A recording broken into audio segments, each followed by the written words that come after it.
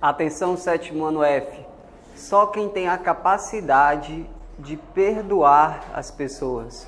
Bom dia. Bom dia. Muito bonito. Isso significa o seguinte: se alguém lhe provocar algum mal, você pode se machucar, você pode ficar chateado, mas é muito importante para a sua vida, para a sua felicidade, para você que você seja capaz de perdoar as pessoas. Ok, gente? Valendo três pontos para a sua equipe. Vamos começar a brincadeira aqui.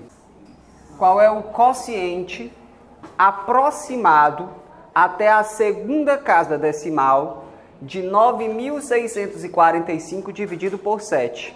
Professor, como assim? Explica isso melhor. Você vai fazer a divisão par, normal.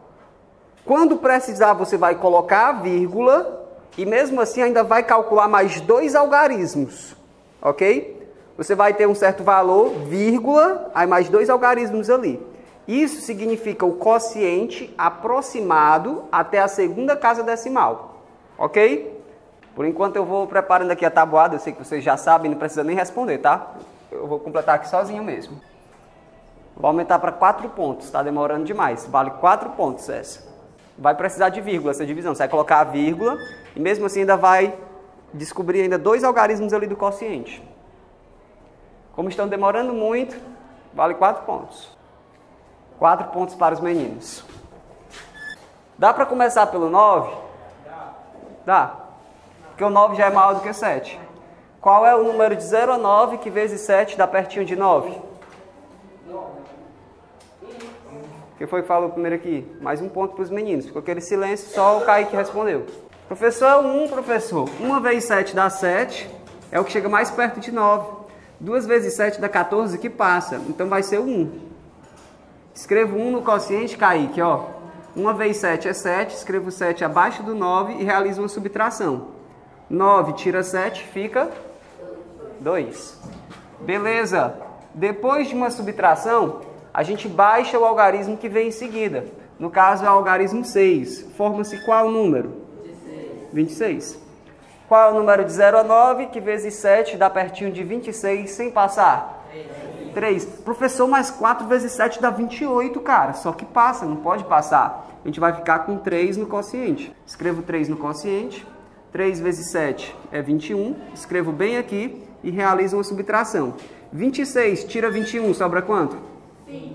Depois de uma subtração, o próximo passo é baixar o algarismo que vem em seguida. Professor, o algarismo é o 4 vai se formar qual número? 54. Exatamente. Aí eu faço a perguntinha, né, professor? Formou-se 54, né? Qual o número de 0 a 9, que vezes 7 dá pertinho de 54 sem passar? 7. 7, ó.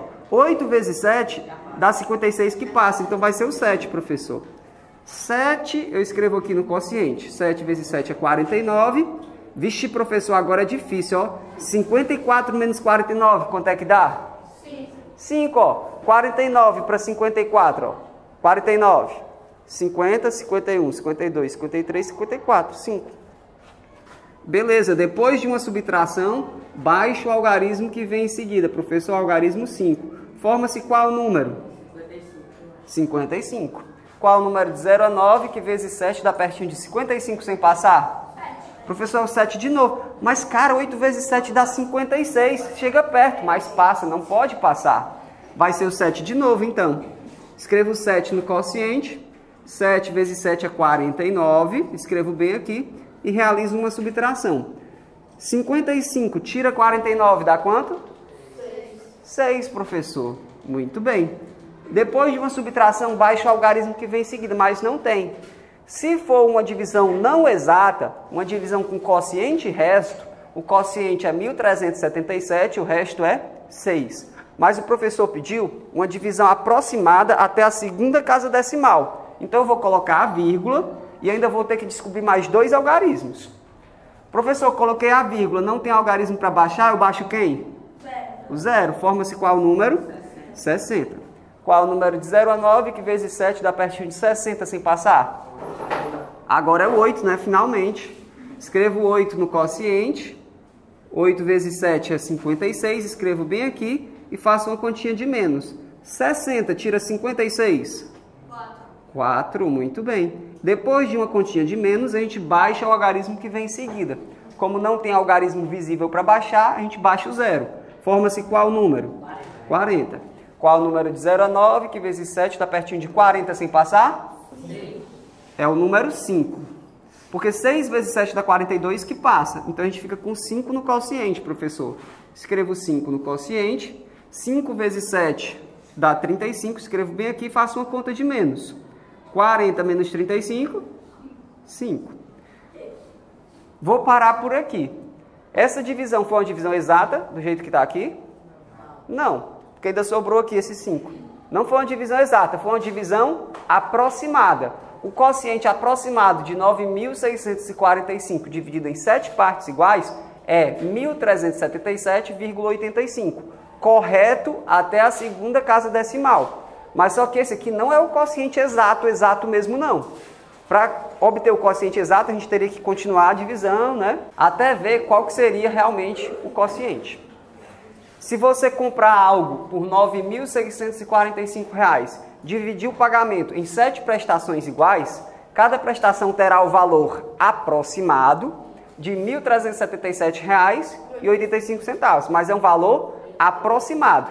Se tu multiplicar 7 vezes 1.377,85 não vai dar 9.645 não, mas vai dar bem pertinho.